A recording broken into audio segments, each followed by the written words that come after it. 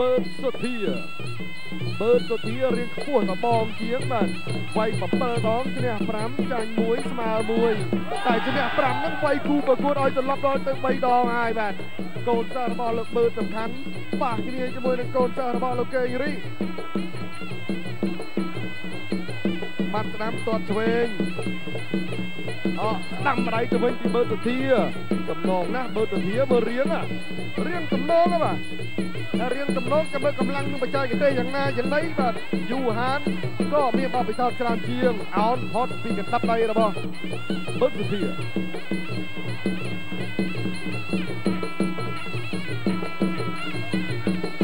គាត់ឆ្វេងមួយមួយពីសុធា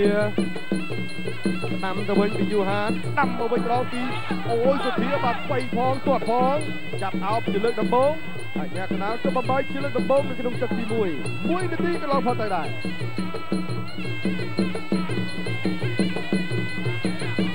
អ្នកក្រោមយូហានបាទយូហានគឺជាឈ្មោះមួយដែលមាននៅក្នុងកម្ពីប៊ីបាទកម្ពីបាយបល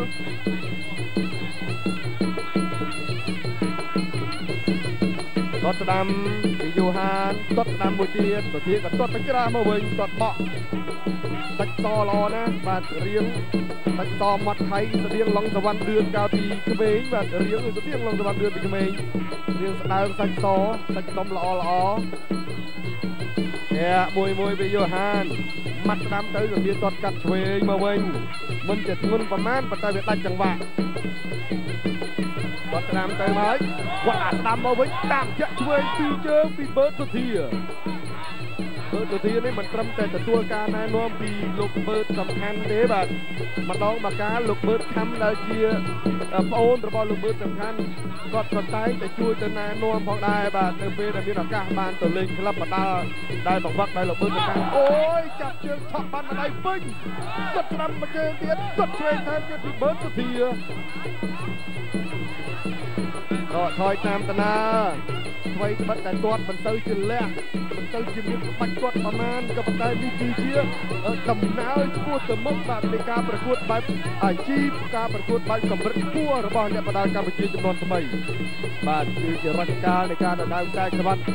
63.5គីឡូក្រាមទាត់មួយជើងថែមម្ដាយថែមមួយជើងជាពីបឺនសុធាលេខយូហានគុំថយតាមដំណើរ យោជពីយូហាន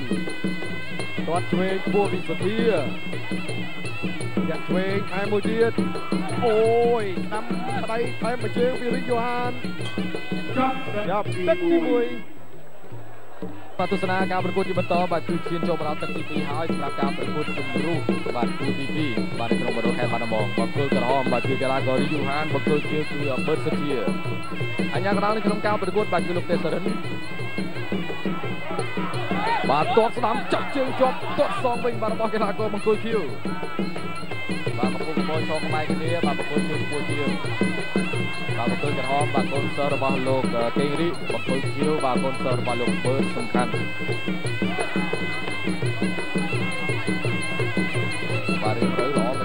ទបង្គោលក្រហមបាទកីឡាប្រកួតទាំងតែរៀងបំផុតគឺត្រង់មែនតើបង្គោលខៀវដូចគ្នាបាទទៅទៅទៅវាយហើយបាទតបស្ដាប់មួយជើងរបស់បង្គោលខៀវបាទគឺបឺតសុធា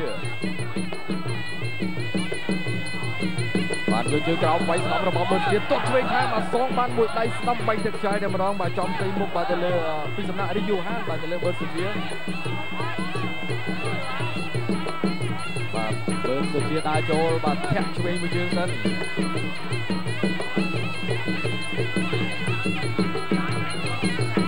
បាទរីយូហានទាត់វិញអត់ដល់ទេបាទសុធាថយផុតអាយ៉ាបដូរក្តាប់ដៃស្ដាំល្អមែនទែនបាទត្រូវដូចគ្នានេះវាយសំរបស់បឺសុធាបាទសងក្តាប់ដៃវិញរបស់យូហានយូហានទាត់ស្ដាំថែមស្ដាំបាទមិនអ្នកបកបាច់បាទស្លាយកីឡាករនោះពីហើយបើយើងមើលទៅគឺក្តាប់ដៃបាទនឹងជើងចេញបានច្រើនដូចគ្នា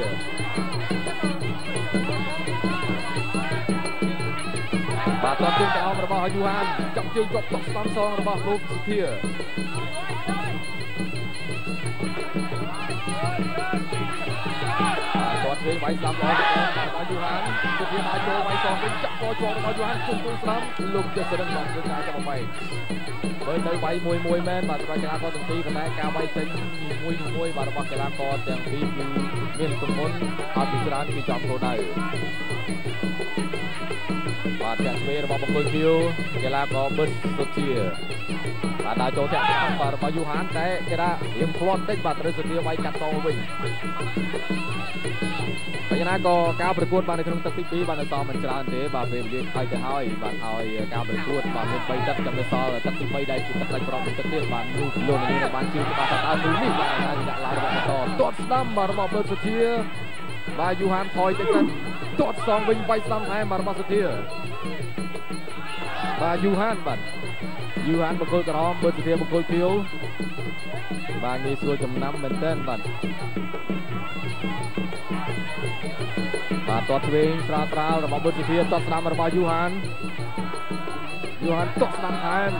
ទាត់ស្ដាំថែមទៀតបិចស្ដាំរបស់យូហានថយទៅទាត់ស្ដាំមួយជើងទៀតរបស់យូហានចប់ទឹកទី2ត ស៊ូគុណខ្មែរគោជលវគ្គជំរុំប្រចាំខេត្តបាត់ដំបងទឹកទី3ជាទឹកប្រាច់គ្រាត់រវាងរីយូហានបង្គោលក្រហម និងបឺតសធាបង្គោលខៀវបាទស្វែងរកអ្នកឈ្នះដើម្បីឡើងទៅប្រកួត Grand Final នៅរាជធានីភ្នំពេញទាត់ស្ដាំរបស់យូហានទៅទៀតតាមទាត់ឆ្វេងទៅវិញទាត់ស្ដាំដល់ទៀតបីស្ដាំទៅតាមបាត់ទៅវិញទៅមកបាទបច្ចាគ្នាទៅវិញទៅមកអញ្ញាកណ្ដាលក៏ស្ទូបំផុតអ្នកទាំងពីរ បោះឆ្វេងតាមស្ដាំបោះឆ្វេងទៅបោះស្ដាំទៅជិតផុតផងបីខុសផងបាទអញ្ញាកណ្ដាលជួយទប់កុំឲ្យគួរទៅខ្លាំងពេក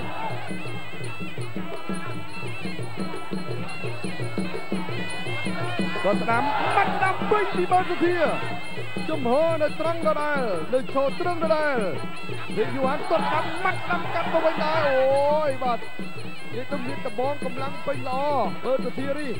គាត់ស្ដាំតាមកាត់ដៃមកវិញបាំងទៅបាត់យកលេខចង់រួចហើយអញ្ញាកណារួមសិនបាញ់បាញ់បាត់បាត់ដៃជួបពេញខ្លាំងពេកអូយយកផាច់ដួលម្ដងទៀត7 8យូហានទៅរួចអត់យូហានទៅមិនរួចទេបាទមួយដៃអំបញ្ញមិញនេះគឺពេញខ្លាំងពេកពីបឺតសុធាកាត់បានល្អណាស់បាទកាត់បានល្អណាស់កូនសិស្សរបស់លោកបឺតសំខាន់បឺតសុធាខ្លាយជា បេក្ខភាពទី2ដែលបានទៅរាជធានីភ្នំពេញយកមកមើលរូបភាពនៅពេលដែលកាត់ជើងបាទចាប់កាត់ជើងធ្វើឲ្យដល់មកដៃស្ដាំចូលពេញមុខម្ដងពេញផ្ទៃមុខតែម្ដងបាទបើសធាពេញល្អណាស់ព្រឹករបស់ខ្លួនឲ្យសន្លប់នៅក្នុងទឹកទី3ជ័យជំនះបានទៅលើកីឡាករបង្គោលខៀវបើសធា